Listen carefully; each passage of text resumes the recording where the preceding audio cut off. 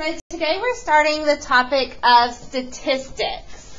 Um, our focus today is going to be on determining if something is a statistical question and finding out the mean.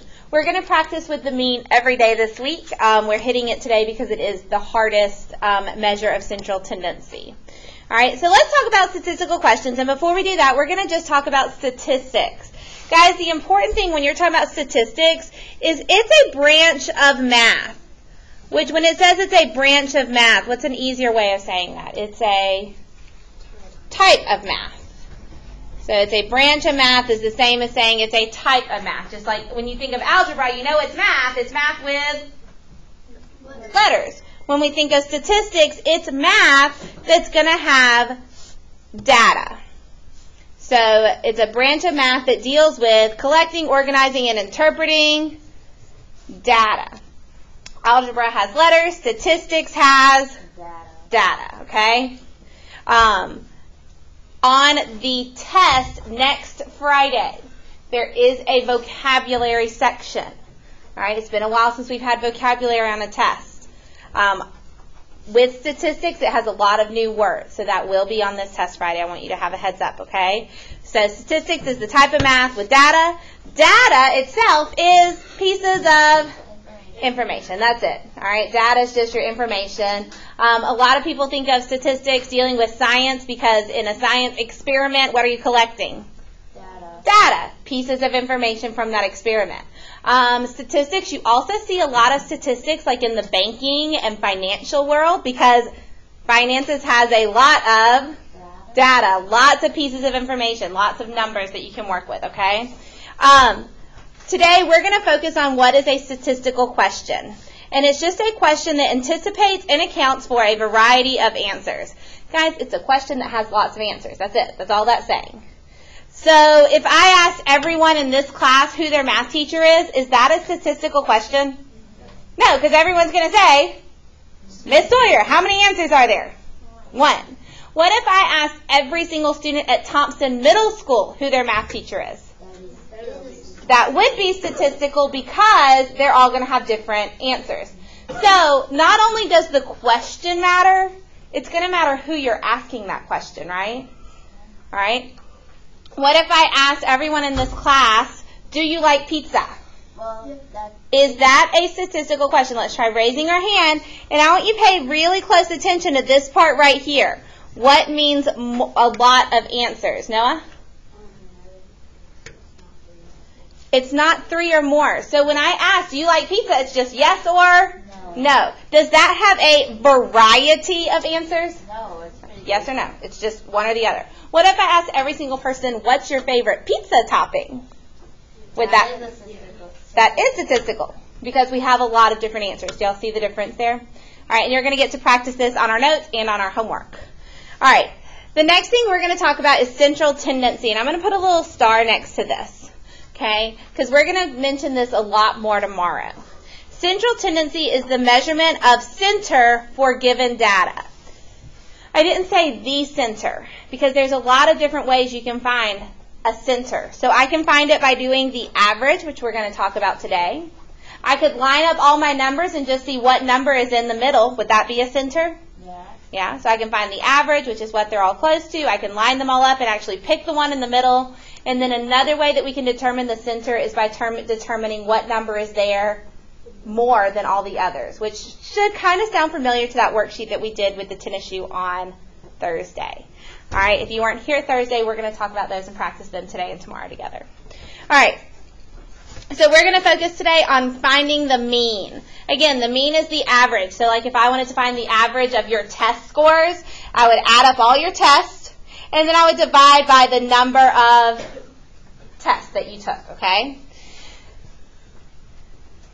Let's go ahead, guys. We're going to practice this in a minute. We're just going to add them all up, and we're going to divide by the number of numbers. I want to see what you get when you add them, and I want to see what you're dividing by, all right? And I'll show you how that works. Going to look in just a moment. All right, the first questions that we're going to look at real quick are determine whether each question is statistical and explain. All right, so for number one, who was the first president of the United States? You're not answering the question. We're just saying, is it statistical, yes or no? Sheldon? No? Why not?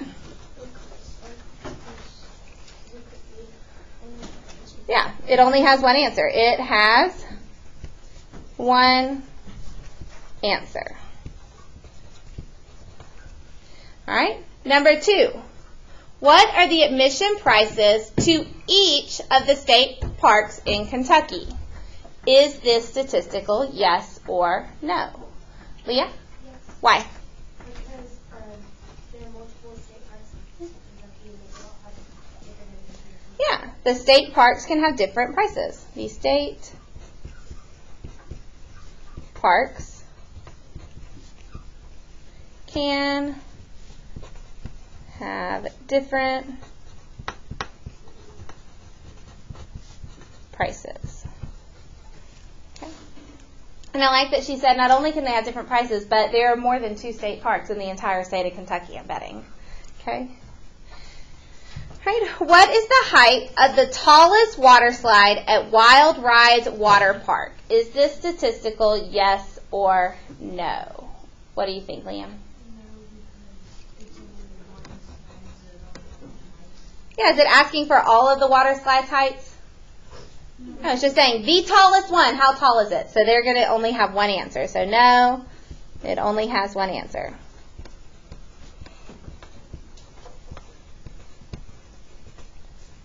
And sir, it might help if I spelled it right.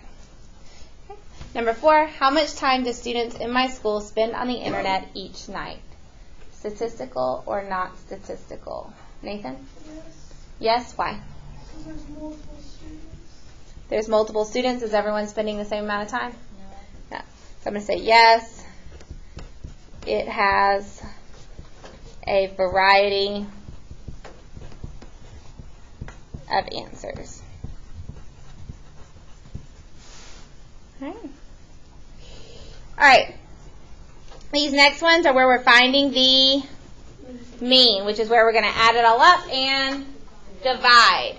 It says round to the tenth. Guys, if I get a whole number, am I going to need to round? No. If I get a decimal with just one decimal place, am I going to need to round? No. If I get a longer decimal, though, we would end up rounding this, okay?